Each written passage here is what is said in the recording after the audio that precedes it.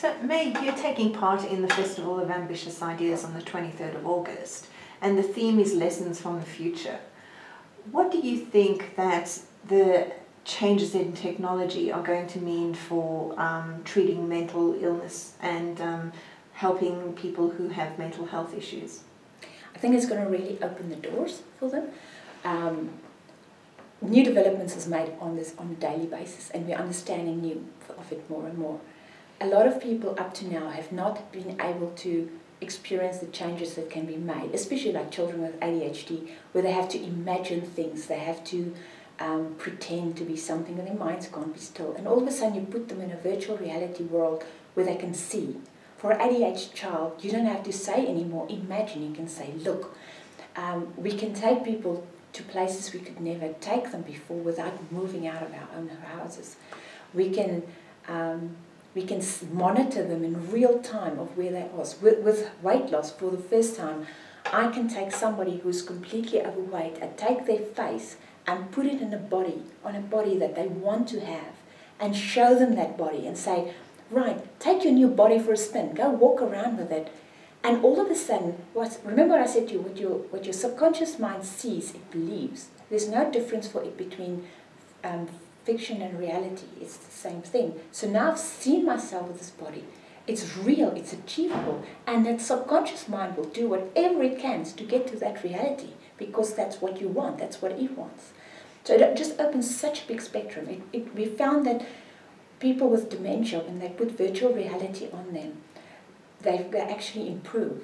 And now you can go take people that's in a in an old age home that can never go anywhere and you say, let's go dive the Great Barrier Reef. I had ladies, old ladies, that for the first time I can put them outside of skyscraper and say, look at that. And I said, oh, I could never do this before. The possibilities are so endless for them. Um, we can teach so much better with it. We can do so much better with it. People can now all of a sudden learn how to save a baby's life. How many of us are going to have a nurse to save a baby's life in virtual reality? Because when your subconscious mind experiences it for the first time, it's actually experience for it. It tells an experience. So next time it does it, it's not that strange. I work with clients that have to go for job interviews and it's for them scary so what we can do is we work beforehand on job interview and then on virtual reality they have their job interview and they do all this and when they go into the actual job interview, I've done this. I can do this. I know I can do this. So the world just becomes so many more possibilities for people.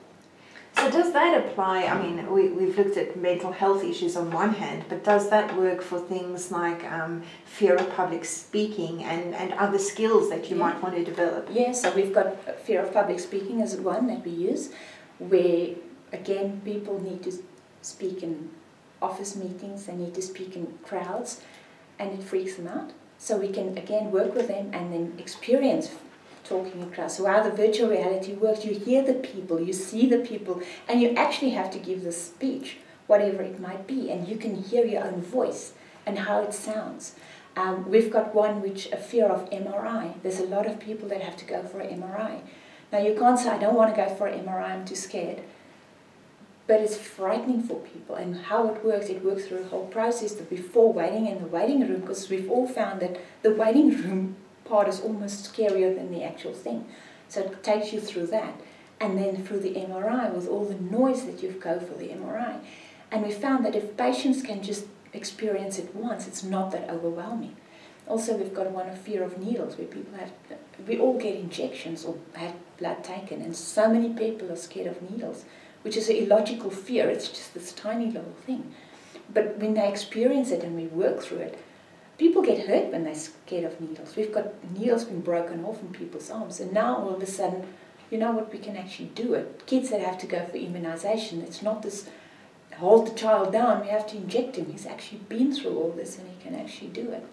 So do you think this has implications for making, um, you know, sort of mental health care much more affordable and accessible and, and really a shorter time frame in terms of treatment? I definitely do. I mean, as I said to you, the, the um, the research on it is coming up thick and fast um, on it just something like PTSD, where the um, Def- American Defense Forces has put a lot of money in it to work on their soldiers with PTSD. With soldiers before, they couldn't help, and all of a sudden they can.